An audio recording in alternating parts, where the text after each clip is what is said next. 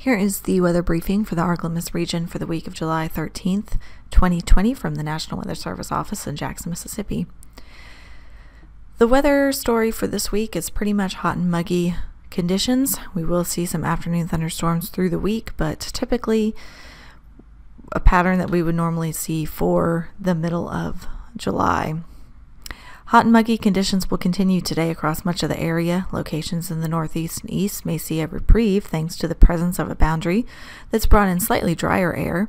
Elsewhere, heat indices of 105 degrees are expected, with some locations uh, highlighted in the orange elevated risk area seeing 105 to 110 degrees. And it won't be totally out of the question for locations across Catahoula, Concordia parishes, and Adams County to potentially exceed 110 degrees for a short period of time. A heat advisory is in effect for the elevated risk area until 7 o'clock this evening.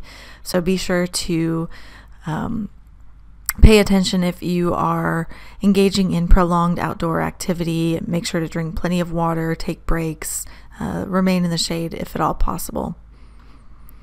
And then through the week, heat concerns will continue for portions of the region. Temperatures will be in the middle 90s, and heat indices will be around 105 degrees through the week.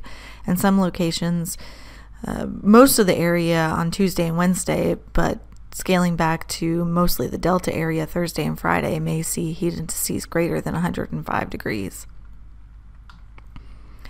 While there will be chances for rain this week, especially in the east as we get into the latter portions of the week, these will be typical diurnal summer thunderstorms. Some locations may not see much rain at all, while others could see some rain. But overall, rainfall amounts won't be high this week.